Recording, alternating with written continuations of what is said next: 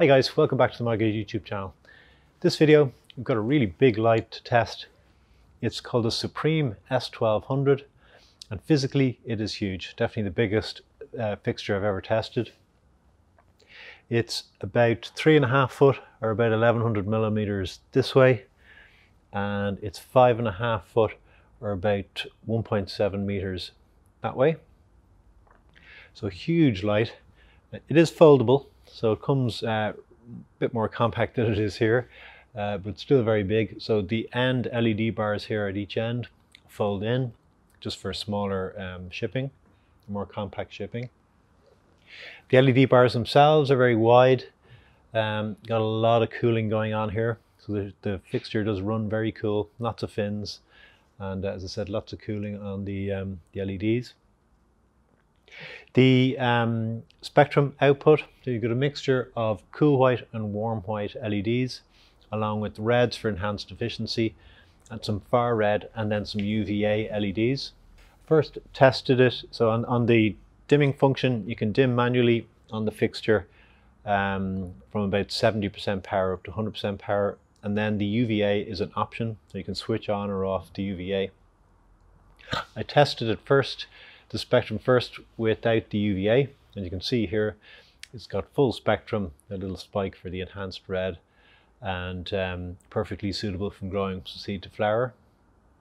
And then you can add about an additional 80 watts of UVA when you switch on uh, that element and you can see the spike of UVA over on the left hand side.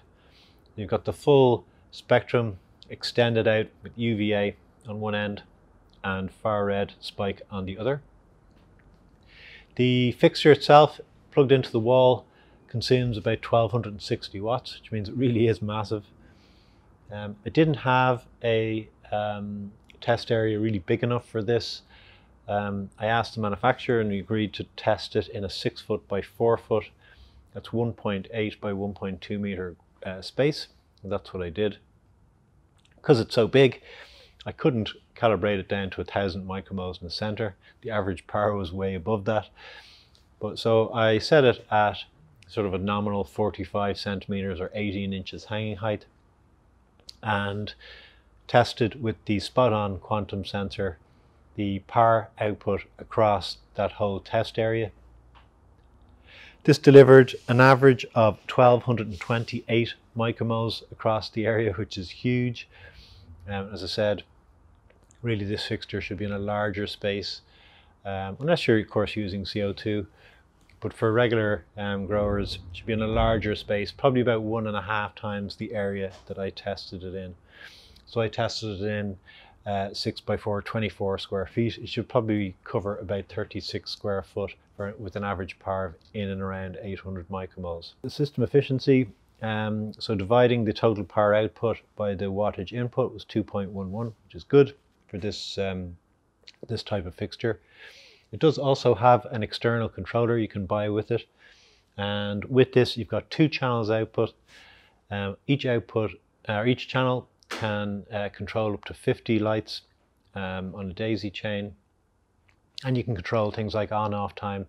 And you also have external temperature and humidity sensors where you can set boundaries to adjust the light output if the temperature was to get too high, for example. So overall, it's a nice fixture, huge, as I said, really powerful, but they've got a full range of lights. And you can see down in the, uh, there's a link to the site down in the description below. Not available immediately on retail from there, um, but uh, I'm sure you can find um, retailers that are selling these lights wherever you are. So nice light to test, really enjoyed it. And looking forward to your comments and suggestions please leave them in the comment section below and I'll get back to you as soon as possible. Take care.